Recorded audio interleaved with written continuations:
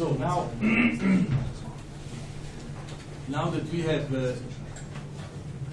we have got up to now a way to shift from orbital elements to let's call them Öpik elements or Öpik variables as you prefer, and we have also gotten explicit formula for computing Öpik quantities after an encounter, so we know that we can come back to orbital elements after the encounter. So we, we have a complete description. Now, let's try to, to do something with that, to, to extract some, some properties of the those encounters. And the first thing I would like to, to, to describe to you is is the following problem. We want to find all the initial conditions on the B plane that lead to a post-encounter orbit of which we impose, oh sorry, the angle theta. We want to have a given value of theta prime. Now, why am I doing that? And the reason is, is obvious if you have in mind the problem of the keyholes that I uh, alluded to before. Why? Because if, if we had a small body near Earth asteroid encountering the Earth at a certain angle, then we said that if the small body passes through a keyhole, then it will be shifted to an orbit that will lead to a successive encounter in which a collision might uh, would take place. Okay? In, in doing this, uh, in, in saying this, we are basically imposing the post-encounter orbital period. Okay? Because if, uh, if we want to have a rendezvous with the Earth at a later epoch, we are basically saying that the orbital period must be such and such. For instance, Apophis encounters the Earth on 13 April uh, 2029, and for quite some time, people, uh, including us, have been discussing that there was the possibility of colliding with the Earth on 13 April at the same longitude on 2036, seven years after. And the, basically, the only way to do that compatible with the initial conditions was if the Apophis would have been if the Apophis were put on an orbit making six revolutions, while the Earth was making seven. Okay, so we were, by speaking of this keyhole, we are imposing that the orbital period of Apophis after the encounter be in six to seven mean motion resonance with the Earth. So we are imposing the period. So we are imposing the semi-major axis. So if you remember my formula, you certainly don't, we are imposing the value of theta. okay. So, so we, uh, so a, a, an intelligent question to put ourselves is, what if we want to know all the, all the initial conditions that lead to a given value of post-encounter theta? Uh, then uh, remember that theta is between, defined between 0 and 180 degrees, so only the cosine formula matters, the sine is uh, relevant. So what do we do? We, uh, we rewrite the formula for cosine theta that with this one. Okay. Remember that b square is uh, square plus uh, zeta square, of course. We, we impose cosine theta. How do we impose cosine theta, you might ask? Well, let's recall the definition of theta. Uh,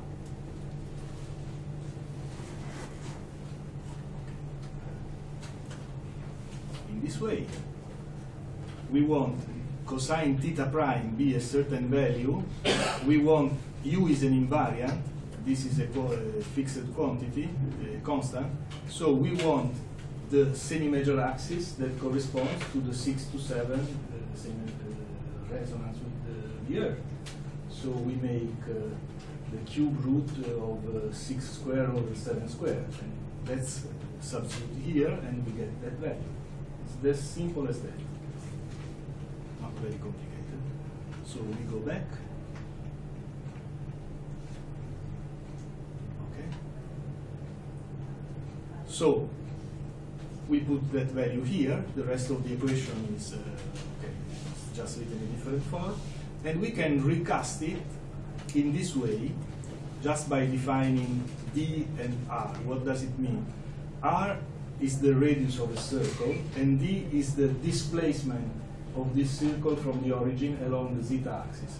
Because you can recast this equation in this form, and this, in this expressed in this form, this is the equation of a circle in the b-plane, a circle of radius uh, uh, absolute value of r, centered in z equal d.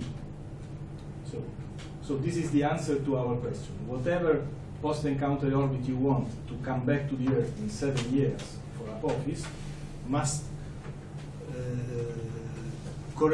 to an initial condition that is along this circle.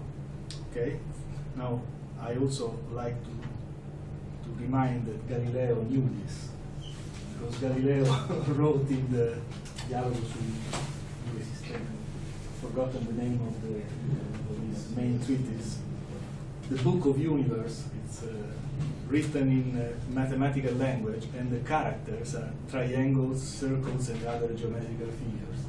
This is, I think, is a working example. okay. So uh, now you, you would ask, really circles? Well, uh, if you remember at the beginning, I showed a figure by Chodas in which there were two keyholes corresponding to a return for a certain asteroid in 2040, and these two keyholes uh, were inclined to one another. So since Chodas was using this strange reference frame, I asked him, please, just rotate your figure, okay, in the way I rotate mine, and he sent me this figure in which this circle is not computed by the theory because I didn't give it to him. It's just fitted to the keyholes he had there and there. And this is the corresponding figure that you draw in one millisecond in the computer just from the. And you see that at the scale of the figure, they are practically indistinguishable. This doesn't mean that they are really circles, of course, if you add all the perturbations, but they're very close. Now, the fact that the solutions of given theta prime are on circles actually shows the way to completely solve the problem of the swing by. That is, given an orbit of given A, E, and I, if you want an orbit post-encounter also of given A, A prime, E prime, I prime, then uh, is it solvable? I mean, can you decide uh, beforehand what should be the values of xi and zeta? And the answer is yes. Well, first, uh, the post-encounter A prime, E prime, I prime will be that they have a relationship to obey that is the conservation of the geocentric velocity. So there is a relationship tied to A, E, and I, and the same relationship also ties among them A prime, E prime, I prime. So it's only a two-dimensional problem. But now, if we also know how to find all the orbits of given final period, then we are left of, uh, with the problem of finding only one coordinate, which might be either E because you solve for i using the conservation of the geocentric velocity, or i, because if you impose theta prime, that is, you are imposing the semi-major axis. So if you want an orbit of given semi-major axis, eccentricity, and inclination, you just have to solve the problem. You immediately know how to find the orbit passing through the, uh, the, the the circles passing to theta prime. And you only have to solve for some place on that circle. Okay? So the, the way you can do it is just re-express xi and zeta using the circle corresponding to the value of theta prime that you have imposed. Okay? And uh, the surprising, at least what has been surprising to me, is that if you do the actual substitution, you end up with this expression, which is ugly to look, but it's linear. You, solve it by, by hand. So, uh, so from from uh, from uh, computing the values of uh, cosine and sine of alpha, you can compute compute xi and zeta, and from them you basically going back to the space of orbital elements, you can compute the values of small omega and the longitude of the Earth you should have in order to have exactly this setup. So, within the limits of this theory, which is an approximation, you can you can solve completely the problem of the swing by analytical, fully analytical. There is no trial to do. You, you, you immediately know what swing by you have to do to get to certain orbit. Okay? Okay, so we had enough time to discuss uh, the problem because I, I, think all this has been a little, I don't know, in the air. But uh, let's go to a real problem. Uh, so I, I, would like to discuss uh, a bit more uh, the asteroid that was mentioned and discussed by Andrea in the first or second lecture. Uh, because this is an asteroid of which we had to do, we had, we had to deal with, uh, we are still dealing with it recently. It's the, the, name is 2009 FD. This is a, an asteroid that has been discovered in 2009 uh, during a, a, relatively close encounter with the Earth, not very close, but uh, it has passed relatively close. This asteroid if you judge it by the magnitude, that is the amount of light you receive from it, you would say that it's very small. But actually, there has been uh, a, a, recent publication on the data coming from the infrared satellite WISE that says that this asteroid is very, very dark. Uh, and actually, if their, if their albedo value is correct, this is the darkest object in the solar system. I have to say that I have serious suspicion you are not the only one. Albedo of 1%. Yes. Albedo 1%, I think the, the black coal is uh, 3 or 5%. So this is blacker than black, so to speak. but, on the other hand, if they are right, and I mean, we, we cannot disprove it, then this asteroid has a diameter of 470 meters, which combined with its uh, geocentric speed uh, makes, uh, don't remember, few thousand megatons. Don't remember exactly. It's written, uh, you, you can go into the JPL website and, and find out how many megatons it is quoted in the New York stock market. okay. So uh, now this orbit, this uh, asteroid is also interesting because since it has been uh, discovered in 2009, it has been reobserved many times. So we are not at all in the situation in which we have an uncertain orbit, so a big confidence region uh, in which there might be many keyholes. We are in a totally opposite situation. This is a very well determined orbit, so well determined that actually to have a good orbit solution, you have also to solve for the non-gravitational parameters like the Yarkovsky effect that Andrea was mentioning. Because not doing so would be incorrect, actually, would not be a good description of, the. So, so the this, this asteroid has the possibility, we will see it uh, in a moment, in, of impacting the Earth between in the years that uh, around the end of the next century. And before that epoch, it has a number of close encounters with the Earth. But these encounters are not extremely close, and so the, the orbit stretches, the, the confidence region increases its footprint on the B plane of, uh, let's say, 2185, but slowly. So it's, it's quite a, a, peculiar case. And uh, uh, so what I will present is an analysis of, of the 2185 B plane, and I, I, I define it a very clean case. What do I mean? Why do I say that it is clean? Well, those of you who followed my lecture in Glasgow might remember this slide, because we are going back just to the origins of the subject.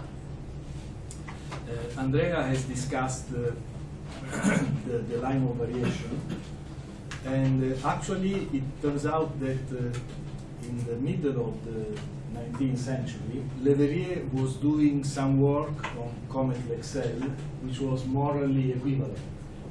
In the sense that uh, the Comet Lexell, if you remember, is a comet that has been discovered in 1770 uh, by somebody called Charles Messier. It's one of the rare comets that has not the name of the discoverer, and there are very few of them. And it usually means they are interesting. and uh, for instance, one is Lex, uh, is Halley's comet, and of course nobody knows who discovered Halley's comet because this took place uh, thousands of years ago. But Halley said something interesting on the comet, and so the comet name, Halley's name was attached to the comet. There are other comets uh, with this situation. One is comet Encke that was discovered by forgotten, possibly another, I'm sure. Uh, and why is attached to Encke? Because on this comet, Encke discovered the non-gravitational forces, Uh, then there is uh, well, Swift-Actor, maybe it was a comet discovered uh, thousands of years ago, and Swift and did the orbit. There is also an exception, that is Comet Crommelin, which is named by Crommelin, not by the discoverer, for no reason whatsoever. so there is an exception to the rule of the exceptions. Anyway, for Comet Lexell, it is named after Lexell because Lexell showed that this comet was on a short period orbit. And not only this, uh, this mm, showed that, but he also showed that this comet, three years before being discovered, was on a totally different orbit that had been strongly modified by Jupiter. And before uh, 1767, it was on an orbit with very large Bethennian distance. And he also showed that the comet would not be seen again after 1770 because uh, in 1776 the comet, its uh, next return close to the sun, would have been on the other side of the sun with respect to the Earth. Okay? And then at the successive return, it would have been on the same side, but in between there would be an encounter with Jupiter even worse the one of 1767, because the comet was in 1 to 2 resonance with Jupiter and would have been sent uh, to the outer solar system. So, so everybody started to speak of Lexell comet because Lexell had shown both first that the comet was of very short period, and second that there was this possibility of the planet effect on the orbits of the comets to strongly modify the orbits from really, really shattering it, com completely disrupting it. Now, uh, many people studied this comet, and Leverrier, at the same time in which he was doing his study, which led to the discovery of, uh, of Neptune, he was also uh, was also studying this comet, and he's, mu he's much more famous for the other work, but this is also not negligible because he understood that given the observational record that one has, it is impossible to find a well-defined orbit describing uniquely the observations. Uh, you might think that this happens because the comet was observed only for a few days. No, it's not true at all. The comet was discovered on the 15th of June and was last observed, uh, I think, the 3 or 4 of October. So the arc in the sky is very long. On the other hand, uh, you cannot constrain the semi-major axis to much better than 1%, which is also what is shown here. Uh, so Lex, uh, Leverrier said that uh, it was impossible to assign a single orbit to the comet, a unique orbit, and uh, so he gave a, a, collection of orbits, which uh, at, at, variance from the LOV described by Andrea is a segment in this case, and this formula describes this segment. This is major axis, eccentricity, this one is the inclination, longitude of perihelion, I think this is the longitude of the node, but the, the, the notation I, I have forgotten. I read this paper long ago, and this must be the true anomaly. Any, anyway, so Leverrier studied Comet Lexell and introduced uh, something which was the, the, the ancestor of the LOV. Okay. Uh, now, sorry, why am I mentioning this? Because all this uncertainty, which reflects in uncertainty on the B plane of the 1779 encounter with Jupiter, is uncertainty that comes from poor knowledge of the orbit. Whereas I was saying that for 2009 FD, the case is very clear because the uncertainty in the B plane of 2185 comes from the current uncertainty, but all of the stretching around the orbit has been caused by previous encounters. Okay, so there is not uh, there is not any correlation with the observed, observed quantities. The, the, the, correlation that there is is all in the, uh, is the fact that it is along the line is all due to the dynamics, which is stretching the, the uncertainty in just one direction. So it's, it's clean in this sense. So let's go back to 2009 FD. This is the situation from now to the end of the, the next century and beyond. You see that uh, uh, we have time on the abscissa, and we have in the ordinate, we have the nodal distance in red at uh, the descending node, I think, and uh, in blue we have the moid with sign. This is the moid not with my sign, but with Giovanni Gronchi's sign, which is opposite. But it is also the, the two moid, not the approximated one. And this also the, the two moid. he always calls his one the two moid. I must surrender. Okay, and uh, and the two the two uh, horizontal lines mark the radius, the effective radius of the Earth. Okay, so you see that up to now we, we are safe because the radius of the Earth is uh, four times in uh, 10 to minus 5. So basically the scale here is from minus 100 Earth radii to plus 100 Earth radii. So now it's uh, 50 Earth radii distance, no problem.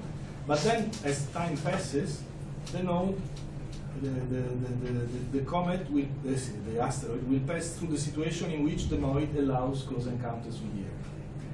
And Andrea showed this figure that gives you the consequences on the stretching, on, on the on the on the semi-major axis of the po po positional uncertainty ellipse of 2009 FD when it encounters the Earth. You see that the units now are uh, are kilometers on the left, and it's a logarithmic scale. So you see this is the year 2000, this is the year 2200 you see that the, the, the, the asteroid has been discovered here, and as time passes, now the uncertainty is of the order of 10 kilometers in position.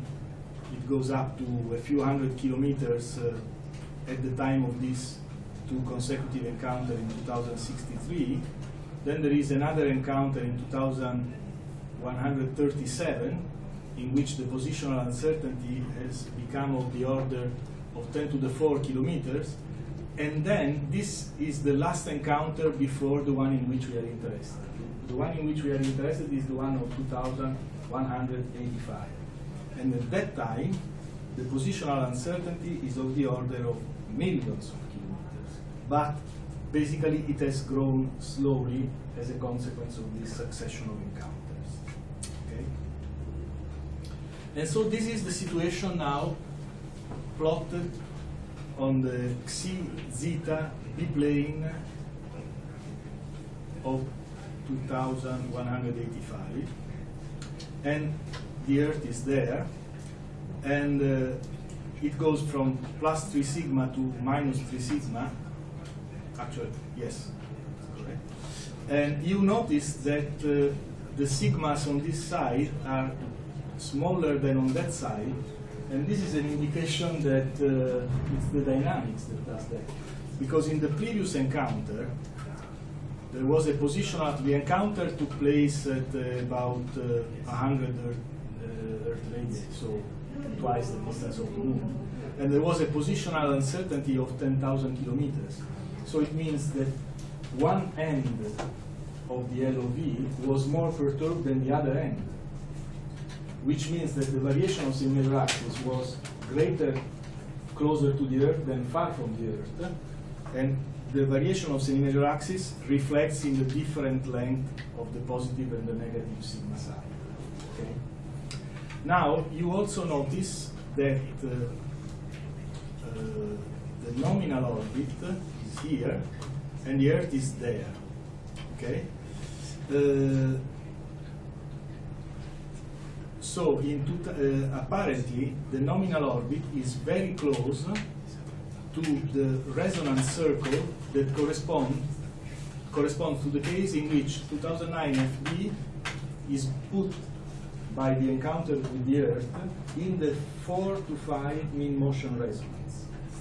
Even if the encounter is very far, why does this happen? Well, because just before this encounter, the orbital period of uh, this object is 1.25 and so you need very little to push it to the to the exact resonance, and that's that's why there is this keyhole.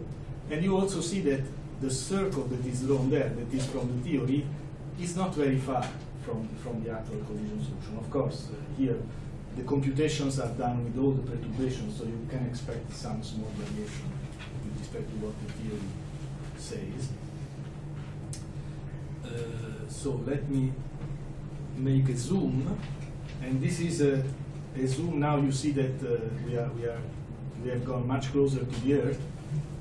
You even see the the gravitational cross section of the Earth uh, is already visible in this figure, and you notice that there are one, two, three, four, five resonance circles that correspond to different resonances listed there. And of course, since the, the LOV passes through the Earth, it is possible a direct collision with the Earth. And the probability of this direct collision is not so high simply because uh, it is at least it is one sigma from the nominal. Okay? On the other hand, uh, the nominal is very close to a resonant return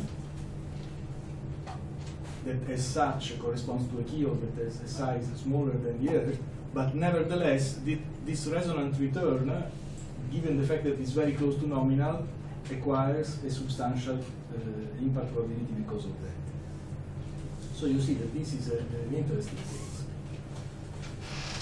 So how, how can we um, use the theory to understand what is going on? Uh, let's go back again to Leverrier, Leverrier's paper.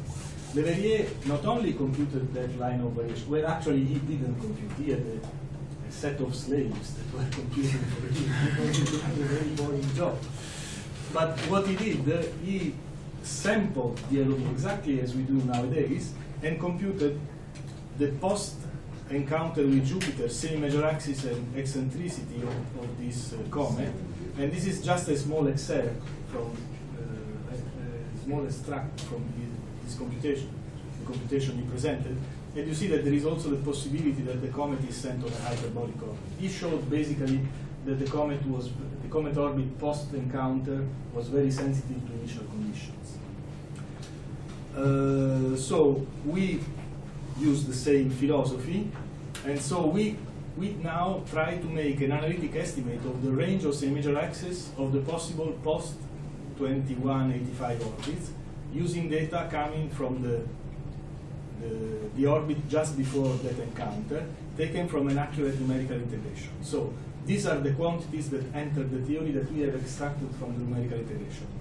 The velocity in, in, the, in units of the Earth's velocity 0.5 something, theta is 97.7 degrees, c is the, the radius uh, uh, the, the, distance at which the object should pass to be deflected by 90 degrees is, uh, corresponds to a quarter of an Earth radius.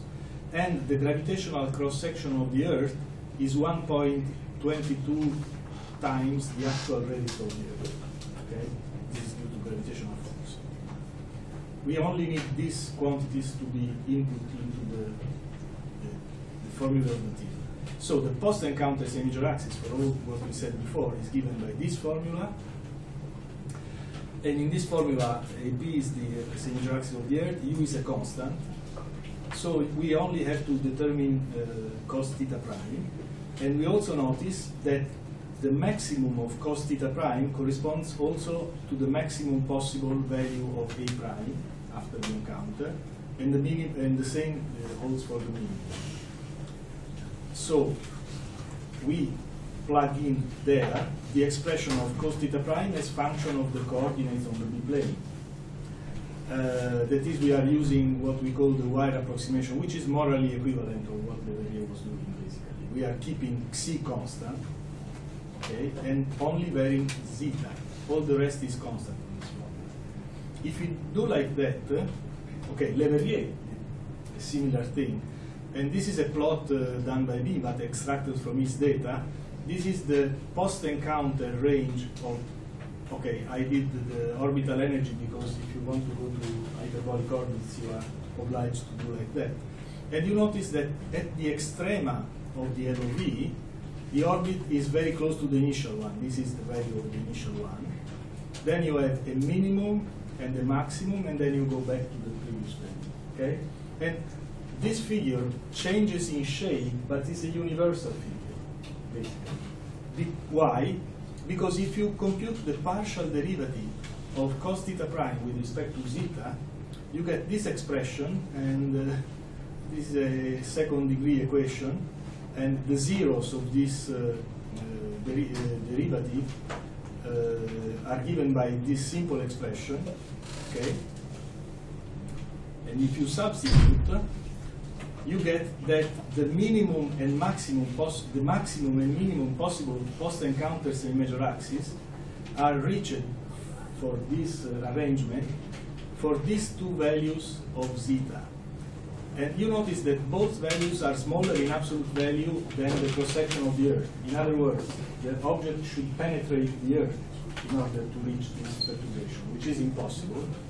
So what do we do? We compute what are the closest encounters that are possible along the line of variation, so two grazing encounters that take place at zeta equal the gravitational cross-section of, of the Earth square minus c square, which is plus or minus this value. So we found two effective values of maximum and minimum A prime, because the real values that would be allowed by the equation are actually prevented by the physical existence of the Earth. Okay? And, and so, as a result of this analysis, we conclude that in the in 2185, either the comet, the asteroid hits the Earth, or at most it could be deflected if it passes very close on one side or the other side. The maximum post-encounter period would be three years point something, and the minimum would be slightly below three quarters of a year. Can I- make a practical comment?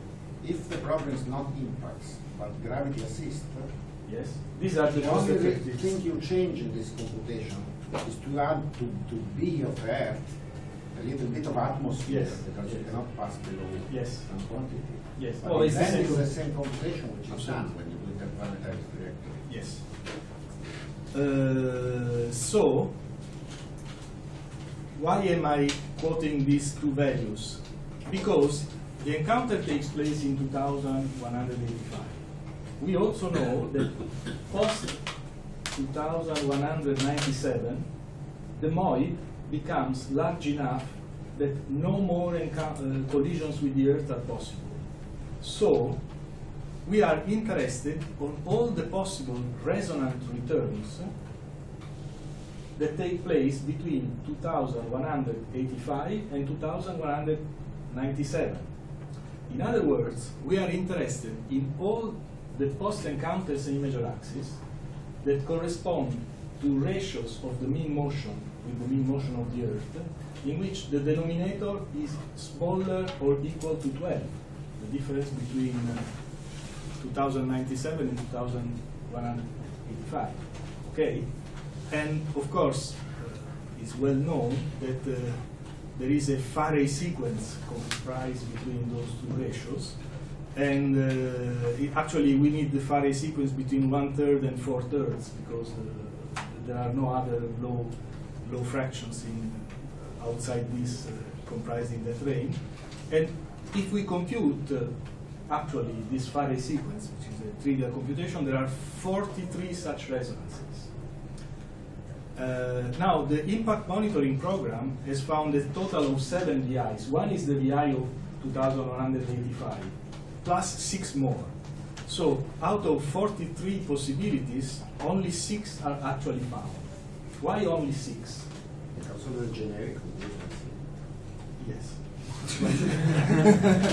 Yes. I explained that.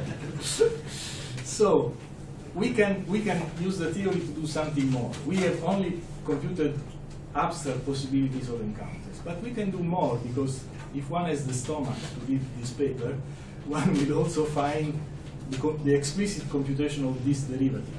Okay, and this derivative, uh, this quantity is the factor by which the z coordinate of uh, on the B plane of 2185 in this case would become by how it, it gives you how much it would be stretched at a later year if there is another encounter. Okay, uh, and this is a function only of u theta prime. Uh, it's a very simple function. I mean, it's long to expression, but it's so. What can we do? We essentially take the maximum possible chord of the Earth, is twice the, the effective radius, on the B plane, let's say, of the following year, okay, and divide it by the amount of stretching that there will have been between the encounter and the second encounter. And, and this quantity we know. We, we, we know from this computation. And then to, to, to know, this gives you the, ratio, the ratio of the stretchings. In other words, gives you the size of the keyhole projected on, on the B plane of 2185. To know what is the actual probability of collision, you have to, to multiply the maximum possible size of the keyhole with the probability density function that you must have somehow.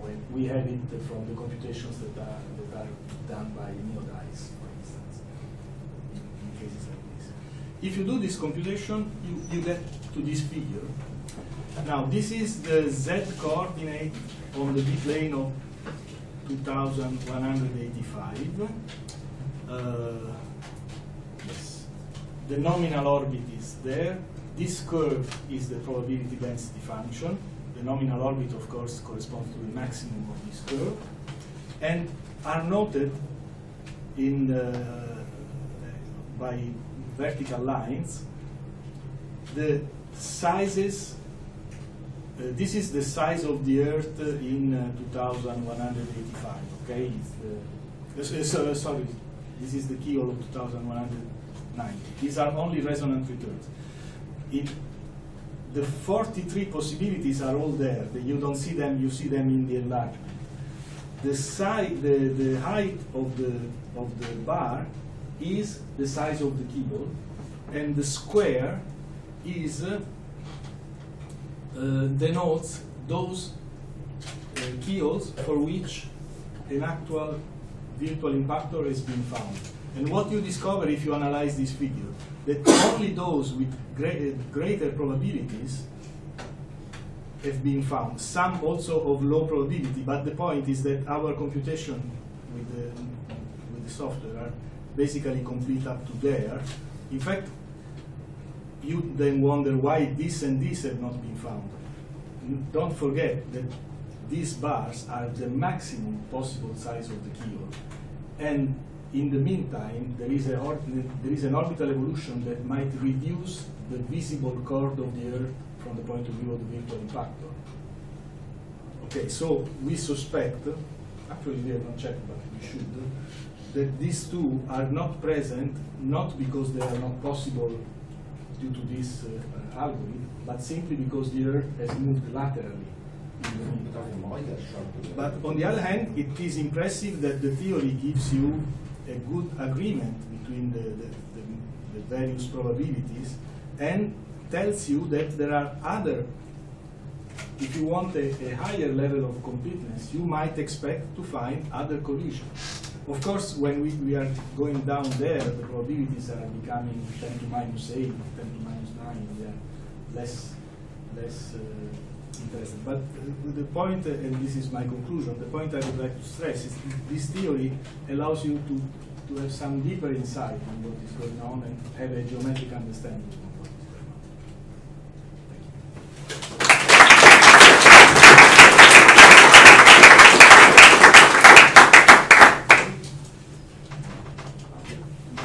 The Newton variant, uh, is it related to the Tisserand? Yes, it is. Uh, if you saw the expression, it is basically square root of 3 minus the Tisserand. But, but, but then you have a Jacobi constant, so that Yes. means that you, you, your planet is, is in circular orbit. Yes, I, I say that in the Okay. beginning. Sorry, uh, so uh, that, that may be the reason why somebody would say for a general applicability for the flyby uh, targeting problem, or maybe it's just completely I would never use this theory to do actual computations, just to isolate the regions in which you do the numerical integrations. Because then you would have, in any case, other perturbations. Of course, then you have to add other things. But if you have an idea of where to start from, you save a lot of computation. These are terribly nonlinear computations.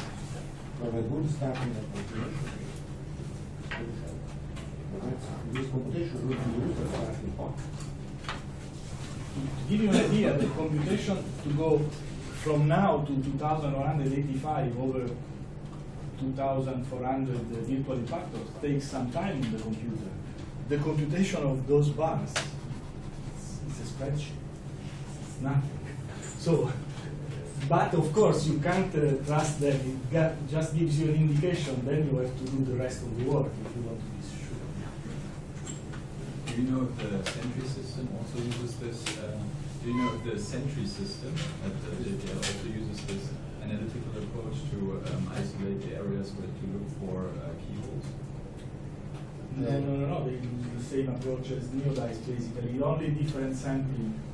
Perhaps and They, like, tell you secret, all these papers are written in collaboration with, uh, even though this, taking the same thing.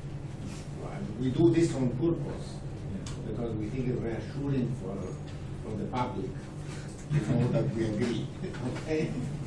So on the liberal But it computer doesn't mean the same mistake then again. joint papers, we need to describe the things we do, which are in common, sometimes we say there is a small technical difference, but we are sure it. That's, that's the whole spirit. of the game. It's- it's- It is the same, but it, we use an automatic machine, which is a brute force to extent, computer. We need a one day of CPU, multi-core system. And then, but then we, we use this kind of argument to understand what we're seeing. Um, I just wanted to ask one question if I can understand this from, let's say, a dynamical systems point of view, the model with the circular orbit of the Earth. Um, would I be correct in understanding the B plane in this sense to be like a Poincare surface of section with a return map more or less being constructed by We are working on, on making it a, a map. The point is that it's somewhat, it, it's, it's a map that resembles, would resemble, for instance, Wisdom's map. Uh, a mixed variable map in which you do the propagation in Keplerian elements and you do the perturbation in some other elements, in this case, elements. But the, the, then the time step is not, is, is not fixed, absolutely. May I, may I reveal one problem? I'm sorry, I had my transparency, but I didn't have the time to explain this. The problem is, unlike the Poincare map, the Poincare map is a canonical transformation. Now, this the B plane is not a symplectic, uh, Lagrange management. That is, the b-plane cannot be described by canonical variables. There is a There is a Tornelli that shows theorem that shows that this is impossible. So you, you have a map, but this is a map of the plane, the plane, but this map is not RFSL, which is enormously annoying. We have not found a solution uh, could you show the plot about the position, the position uncertainty of uh, 2015? Uh, yes, so um, if I understand it correctly, this is the uncertainty for a uh, for, for a Pearson impact which is propagated for a Pearson impact from the line of variations, right? Of the This is the semi-major axis of the positional Ah. uncertainty ellipse. okay. Once propagated to the. Um, I, I was wondering uh, why at some point between the between 2064 and 2003 there's, there's like a, a drop there which is The, particularly the point is that uh, the, the point is this is only a partial partial information because you are only plotting space information and not velocity information. It's not a complete set. So Liouville theorem doesn't work only for this. If you only take a part of this, it doesn't work. Of course, when the positional uncertainty diminishes, the velocity uncertainty stretches. If this is your question. Yes uh, No? thanks. Okay, let us uh, wait a moment. We resume in 20 minutes in order to Again, speed up. the one dimension projection.